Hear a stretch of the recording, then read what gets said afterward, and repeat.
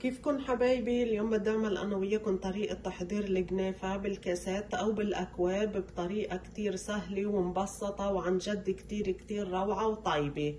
بهيدا الشكل مثل ما شايفين. روعة. كتير هيدي الطريقة ناجحة مية بالمية وكتير طيبة. لنبلش الطريقة مع بعض. بسم الله.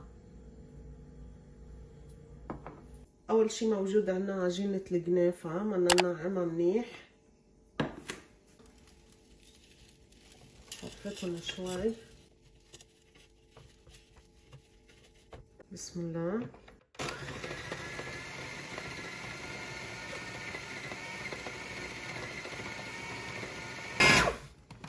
نعمناهم منيح بهيدا الشكل.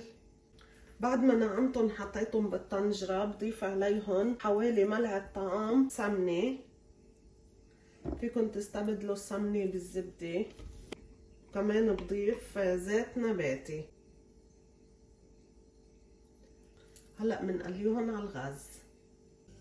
بنطر الطنجرة لتحمى وبس تحمى الطنجرة. بقلبهم تقليب مستمر لتاخد عنا العجينة لون متساوي.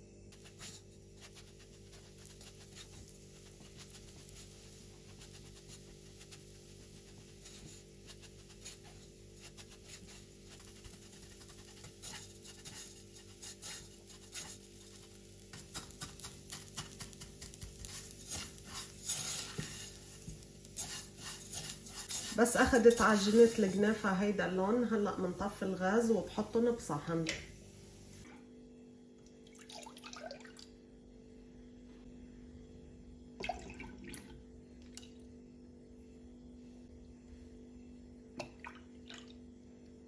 حطينا كوبين ونص حليب. هلأ بحط حوالي ملعقة طعام ما زهر ملعقة طعام سكر. ملعقتين طعام نشا.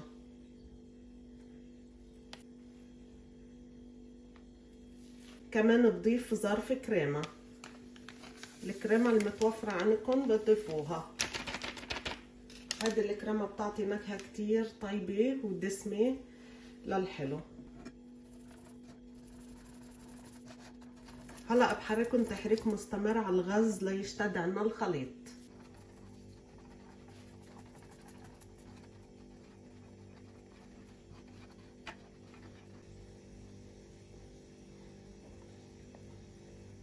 بس اشتد عنا الخليط بهيدا الشكل.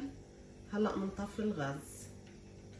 بنحطهم بكاسات أو بأكواب. شيل من العجين اللي عملناها. بحط بأرض الكاسة بضغط عليهم بهيدا الشكل شي بسيط. طريقة جنافة كتير سهلة وبسيطة وكتير طيبة.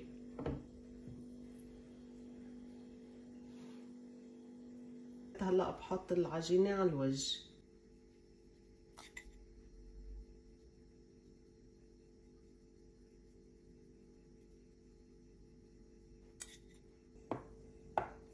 بعد ما حطينا العجينة هلأ بتركن على المجلى ليبردوا بحرارة الغرفة وبرجع بحطهم بالبراد. أقل شي ساعة.